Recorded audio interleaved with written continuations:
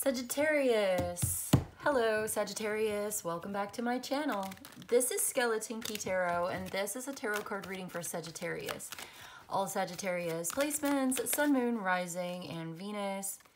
Wherever you've got Sagittarius in your chart or in your life, there's something in this message for you.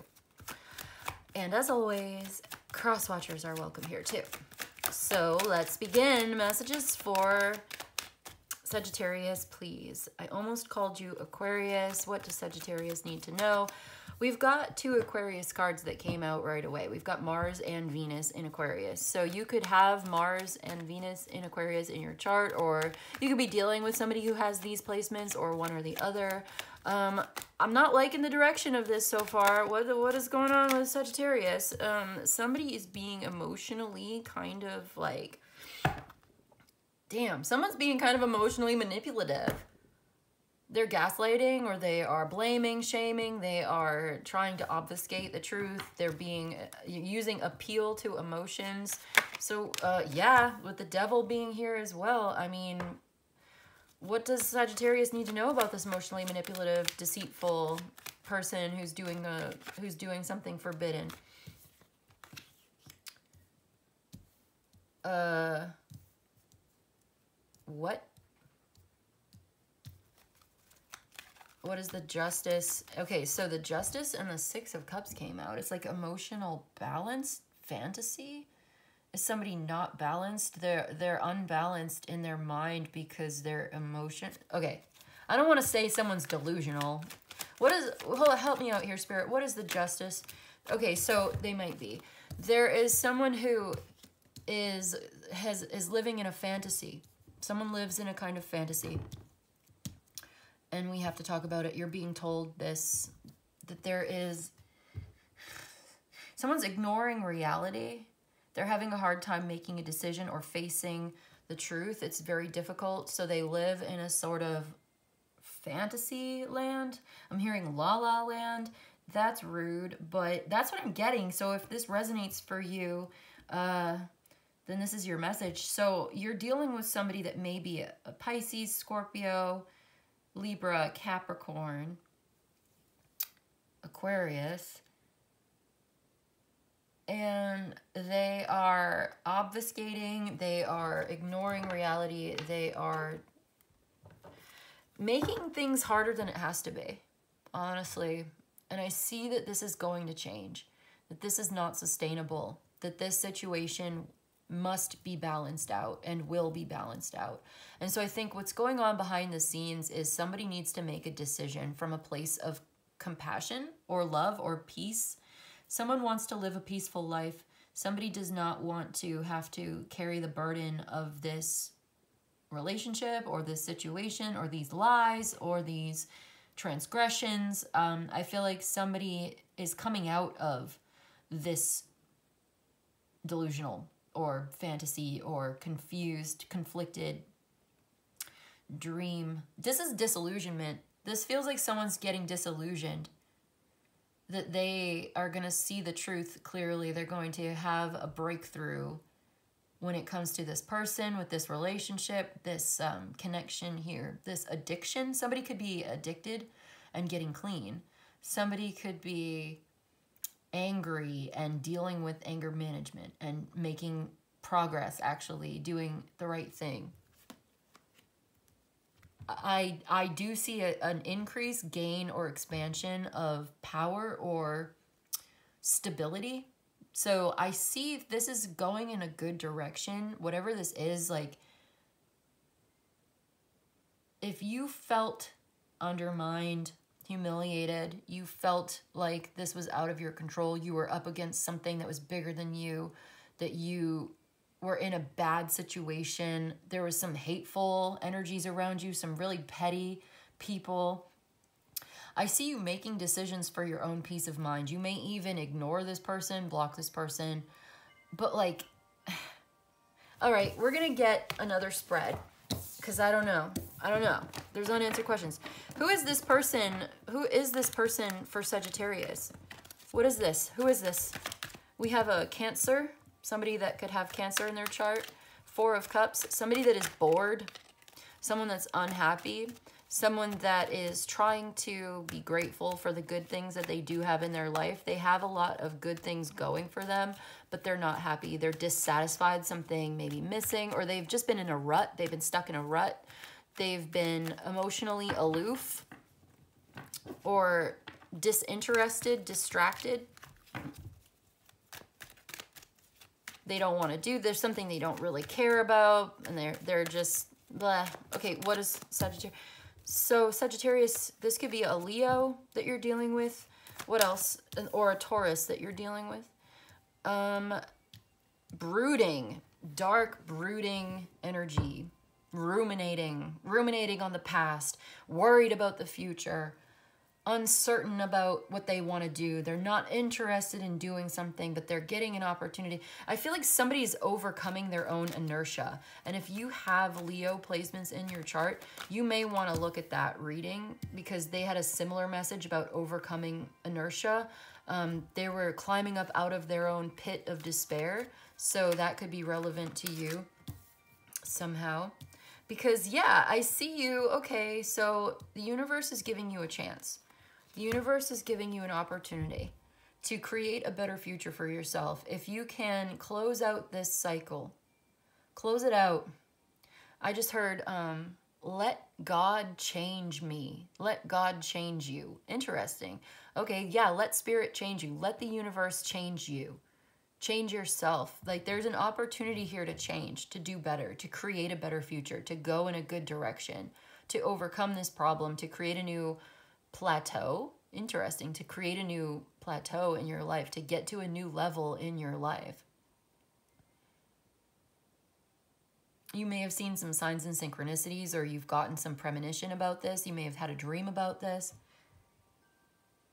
Or this is something, it's something new and interesting and could lead you to manifesting a better position or a new house. I feel like you're hitting a finish line Okay, there's Venus and Aries. If you have Aries placements, I'd check that out. More Aquarius here as well. And this is the Wheel of Fortune, Sagittarius. This is Jupiter. It's your planet. It's you and Pisces share this planet. So Jupiter is here. It's growth, expansion. It's prosperity. It's like...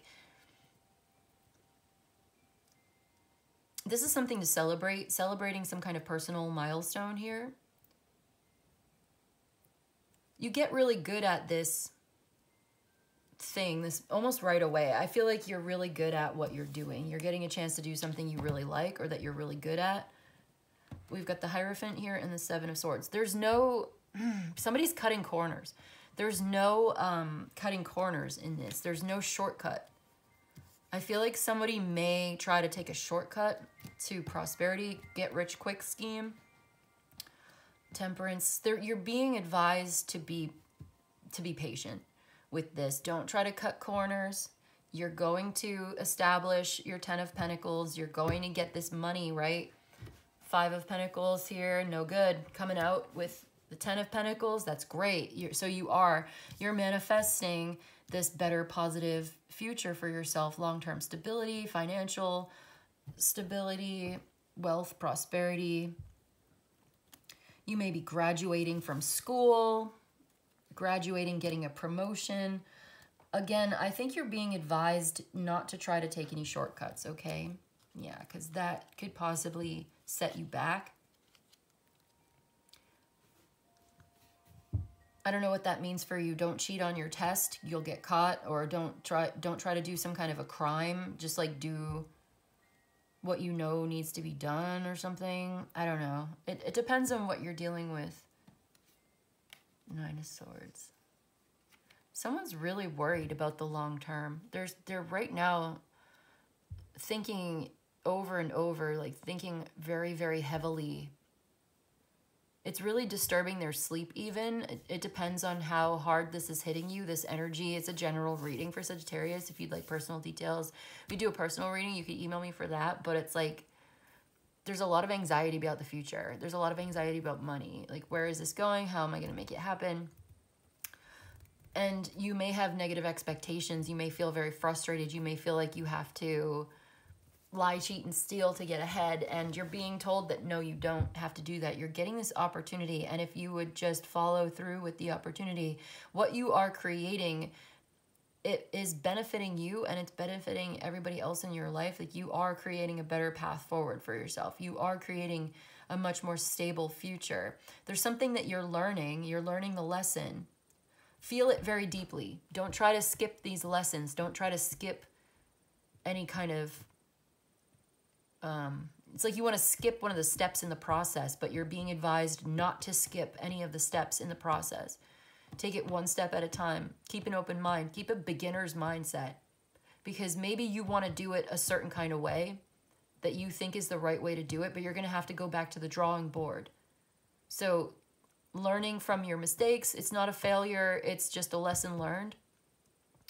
Now you can see better what you need to do in the future. Like if you made a mistake and you learned from it, that's not a failure, that's a success. Now use that knowledge into the future to gain momentum to go in the direction you're supposed to go. When you learn what not to do, this helps you to learn what you should be doing. So now you've got a better idea of what you should do moving forward. That's it. Just keep it moving.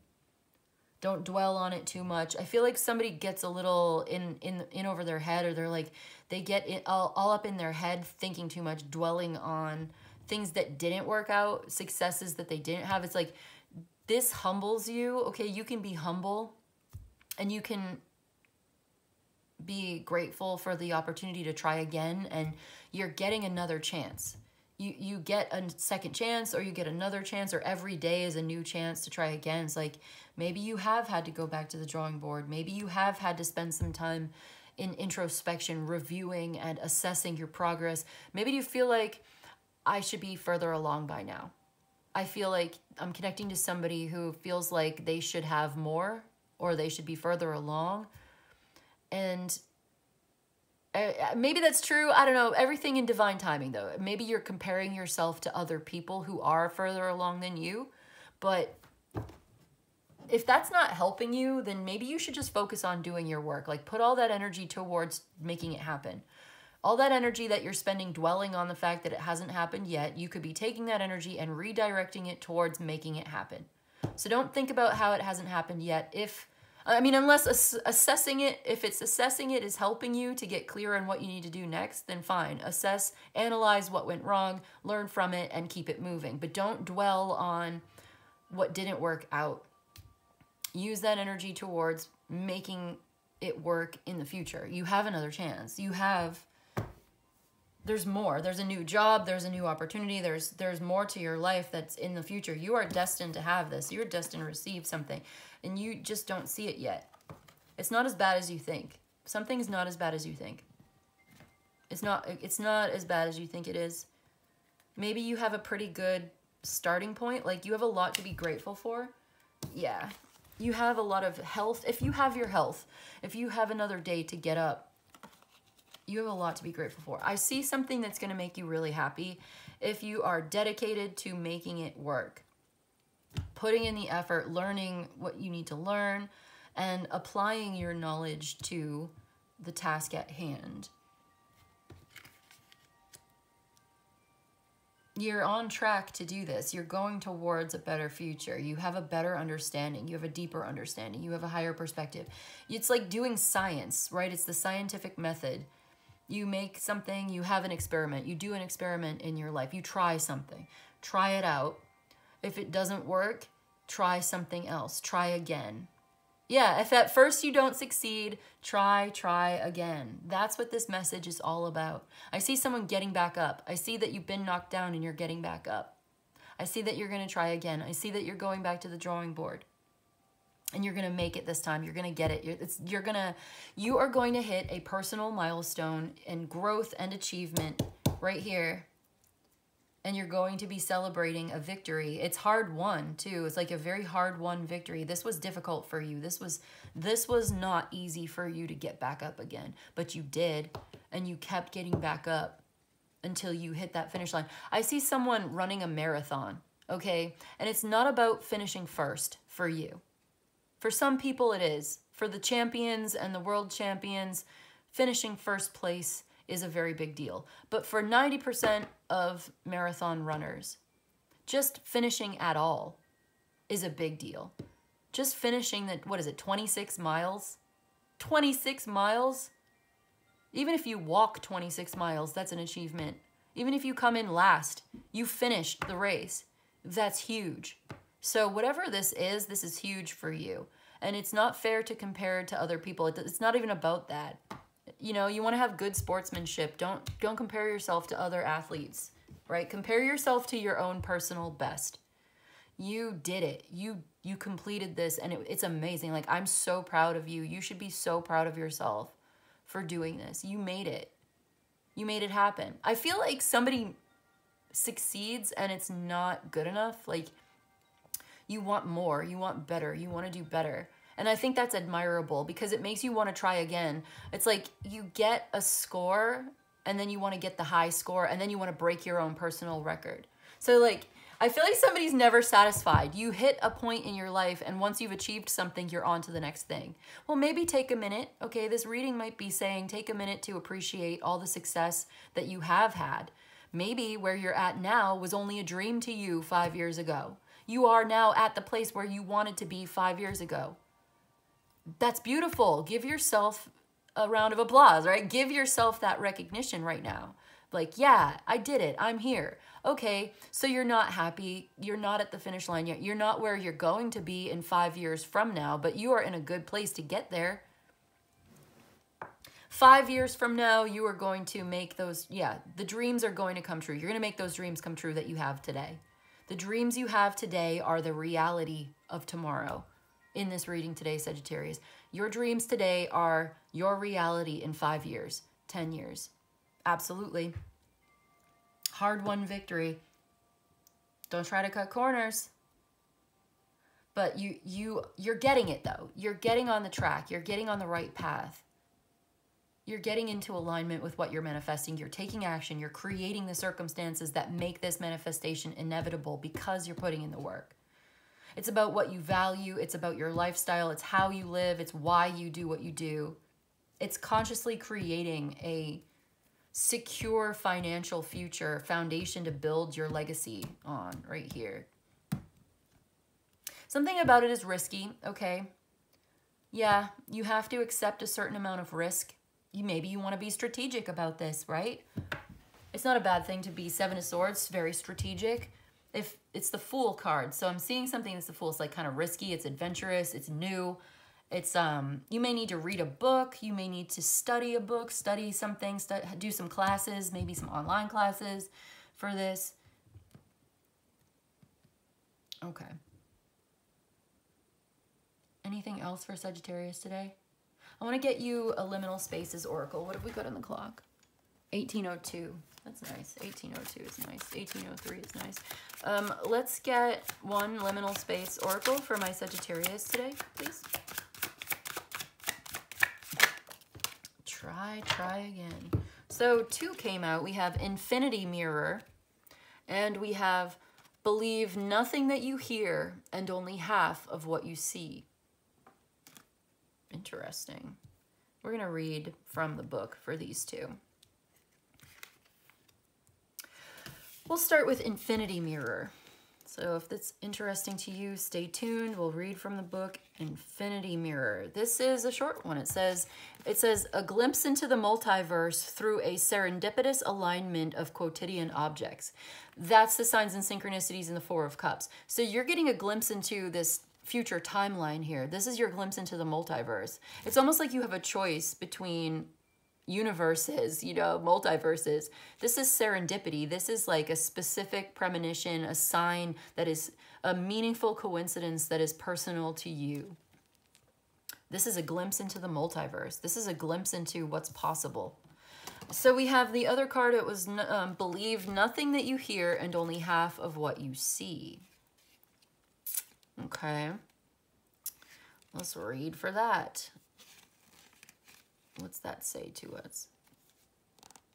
It says, yeah, there's a little longer one, but okay. It says, it's beneficial to remain aware of the astonishing subjectivity of perception For consciousness is formed by countless experiences and conditions unique to the individual. Yeah, your unique set of circumstances, something specific to you. What you are hearing and seeing, telling and being told are spiked with the self deception that is inherent to the human condition. Didn't we have the first message here today was something about being self-deceptive, delusional? We were saying that person was delusional. Maybe it's a better way to put it is like self-deceptive. There's this fantasy, that la la land we were talking about before. It's being called to your attention again. And I feel like that's the Seven of Swords as well as the Five of Pentacles. This ruminating, this brooding, this getting caught up on what's not necessarily true. It's not as bad as you think it is.